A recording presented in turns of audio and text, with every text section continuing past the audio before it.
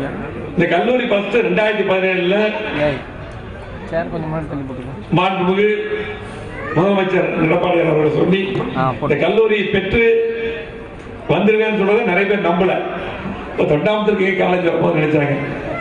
நம்ம தொண்டாமத்து வரைக்கும் வரும்போது தொண்டாமத்து வரைக்கும் வரும்போது அதுக்கு இடம் பார்த்தீங்கன்னா எங்களுக்கு பெரிய சிக்கலாக இருந்தப்ப இந்த நம்ம காலேஜ் நம்ம ஸ்கூல் ரெண்டாவது ஸ்கூல்ல சொல்லி சில வகுப்பறைகள் இருந்தது. அதை வச்சு உடனடியான இடத்துக்காக காலேஜ் பேப்பர் கொடுக்காம வேற போயிருந்து சொல்லி அவசரமா ஆரம்பிச்சோம். ஏன்னா இன்னைக்கு பாத்தீங்கன்னா பிரைவேட் காலேஜ்ல எல்லாம் போனாங்கன்னா முப்பதாயிரம் ரூபாய் பீஸ் கட்டி படிக்கும் நம்முடைய குழந்தைகள். இருபத்தாயிரம் பீஸ் இருக்கும்.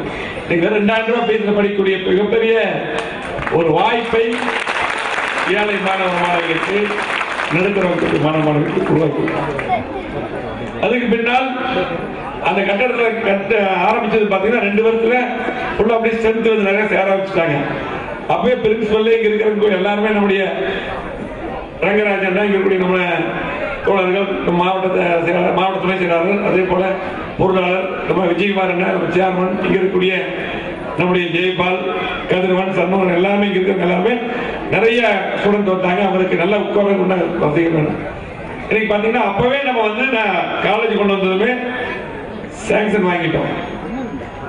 இடம் பாத்தீங்கன்னா நமக்கு பெரிய கிரிட்டிக்கலா இருந்தது. அது மட்டும் இல்லாம ஆரம்பிக்கும் போது இந்த காலேஜ் எவ்வளவு கஷ்டப்பட்டு கொண்டதுன்னு தெரியும். அப்ப கூட பாத்தீங்கன்னா இதுக்கு முன்னாடி இருந்தவங்க இதெல்லாம் எதுவுமே செய்யல. அப்ப ஏதாவது இல்ல இது அரசு கல்லூரியாக கொண்டு வரல.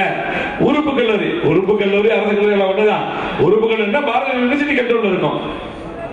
அவ்வளவுதான். அந்த உறுப்பு கல்லூரியும் ஏதாவது ஒண்ணு சொல்றாங்க. ஆனா அது வந்து கடைசியில அவங்க அவங்க சொன்னது அப்படி ஒண்ணு இல்லாம போயிருது. இது வந்து அரசு கல்லூரியை கொண்டு வரணும் தான் எங்களுடைய திட்டம். அப்புறம் உறுப்பு வந்து அது ஒரு பத்திரிகையில எழுதி வச்சு இதை சில பேர் பேட்டி கொடுத்து பண்றாங்க இதெல்லாம் எங்களுக்கு கவலை இல்லை. எங்களுக்கு பொதுமக்களுக்கு அந்த கல்லூரி கொண்டு வரணும். அதுக்கு பின்னால் உடனடியாக ஒரு ரெண்டு வருஷத்துக்கு முதலமைச்சர் சொல்லி பல்வேறு மா- தமிழ்நாடு முழுவதும் உறுப்பு கல்லூரி அரசு கல்லூரி மாத்தாங்க அதுல இந்த கல்லூரி அரசு கல்லூரியை மாத்திட்டோம். இந்த அரசு கல்லூரி.